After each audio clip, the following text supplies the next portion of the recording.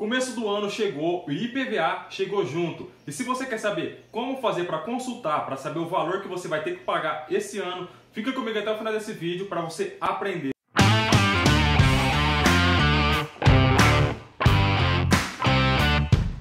Então, pessoal, é bem simples. Você vai entrar no Google, vai pesquisar lá, consulta do IPVA 2021, ó. beleza? Aí vai estar tá lá, o valor do IPVA vai estar disponível já a partir de 22 de 12, não. Aí é o segundo aqui, ó, consulta de débitos do veículo sobre o IPVA, tá vendo? Aí o site é www.ipva.fazenda.sp.gov.br, beleza? Aí clica lá. Aí vai estar tá lá para você digitar a identificação do seu veículo, ó, o Renavan e a placa do seu veículo. Tá vendo? Beleza? Aí vai dar lá, não sou robô. Você clica não sou robô. Aí logo em seguida já consultar. Aí rapaziada, vai estar tá, vai tá aqui o, aí do lado o Renavan do seu carro, a, a placa, tudo, mas aí isso não, não interessa a gente, ó.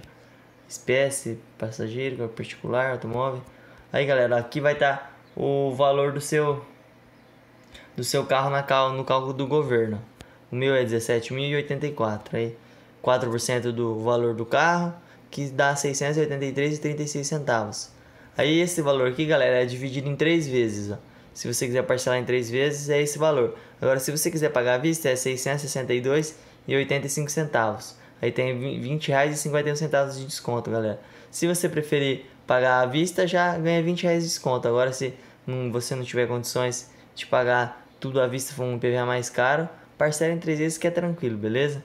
E é só isso, pessoal. Vai estar todos os dados aqui. O, licenciamento é sempre no final da placa do seu carro que paga e vai estar tudo lá explicando para vocês certinho, beleza? Então, rapaziada, esse foi o vídeo. Espero que você tenha gostado. Qualquer dúvida, comenta aí embaixo. E não esquece de estar se inscrevendo no canal, já ativa o sininho de notificação, deixa seu like e até o próximo vídeo.